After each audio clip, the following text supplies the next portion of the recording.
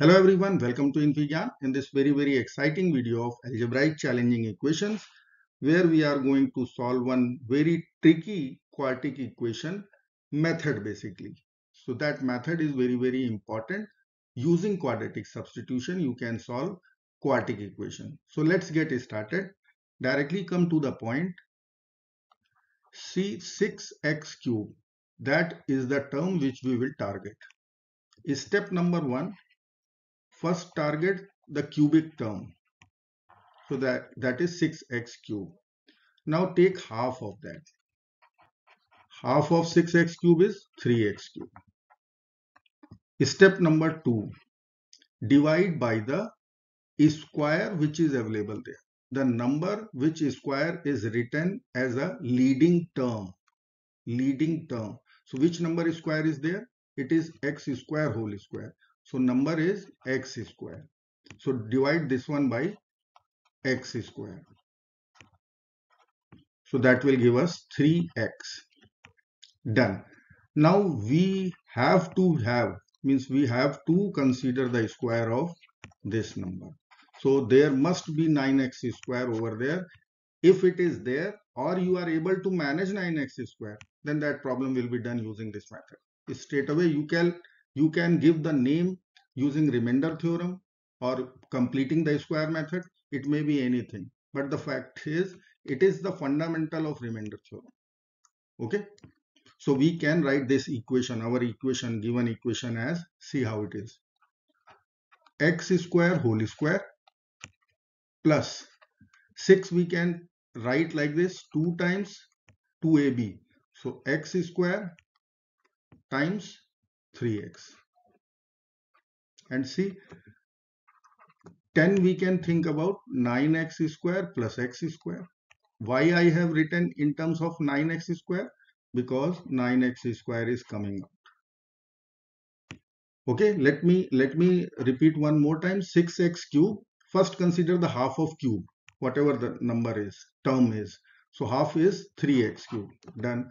Then you have to divide this by the number which is square is the leading term so that number is x square. You will divide this by x square. So we are getting 3x. This square is needed. This number 3x square is needed. Means if you are able to find out or you can manage to get 9x square in the equation, problem is done using this method. Okay, so 2x square 3x. Let me complete this one. And 9x square I am writing 3x whole square. What is left? x square and right hand side is unchanged 20 minus 3x. Now you can see what is this written. So that is a square. Let me write here. You can see a square plus 2ab plus b square. The first three term. Okay. So I will write a plus b whole square. That's it. X square plus 3x whole square. Done? Remaining term as it is. X square is equal to 20 minus 3x you can see x square plus 3x let us take minus 3x all the terms towards left. X square plus 3x whole square plus x square plus 3x minus 20 equal to 0 now obvious substitution is visible I will consider let x square plus 3x equal to t. Simple. So if I will consider t then it will become t square plus t minus 20 equal to 0 and remember our substitution we will put back once we will calculate the value of t. Okay. Let's solve. So I will write t square plus t minus 20 equal to 0 and our substitution is t is equal to x square plus 3x. Done. Let's apply quadratic formula quickly. t is equal to minus b minus 1 plus minus square root b square 1 minus 4ac plus 8t divided by 2a so 2 minus 1 plus minus root 81 we can write directly 9 minus 1 plus minus 9 over 2. Once I will take plus sign in between, then it will become 9 minus 1, 8 over 2, 4. Minus sign in between, minus 10 over 2, minus 5. So there are two t values. t is equal to 4 and t is equal to minus 5. What was our t substitution? Let's put back that value. So let me write t equal to x square plus 3x equal to 4. So one equation is x square plus 3x minus 4 equal to 0. This is one equation we will solve. And second equation t equal to x square plus 3x equal to negative 5 or x square plus 3x plus 5 equal to 0. Let's solve both the equations for four solutions because equation is quadratic.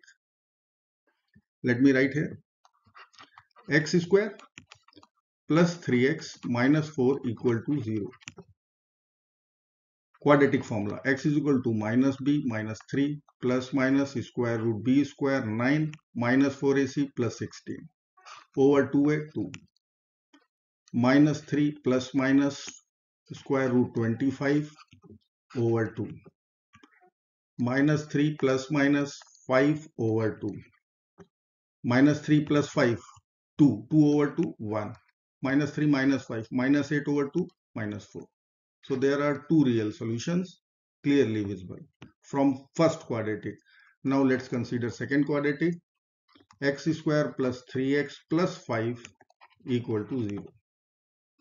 If I will solve again using quadratic formula, then x will become minus b minus 3 plus minus square root b square 9 minus 4ac 20 over 2a 2 minus 3 plus minus it will come out square root negative 11 so let me write i outside square root of 11 so there are two complex solutions also minus 3 plus minus i times root 11 over 2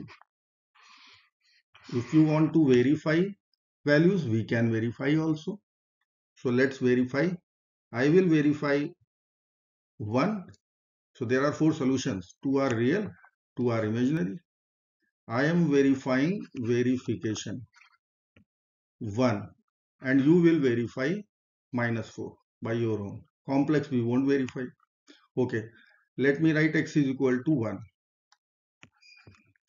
So 1 means I will write 1 power 4 plus 6 times 1 power 3 plus 10 times 1 square equal to 20 minus 3 times 1 so 3 so 1 plus 6 plus 10, 17 it is.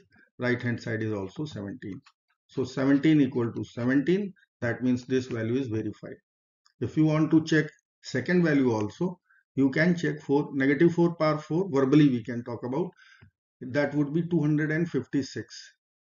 6 times negative 4 power 3. That value will be minus 384 plus 10 times 4 square. So 160 positive okay so left side will come out equal to right hand side you will put you will get the answer okay i hope you like this video thank you so much for watching do not forget to like share subscribe. Bye bye till next video. Good luck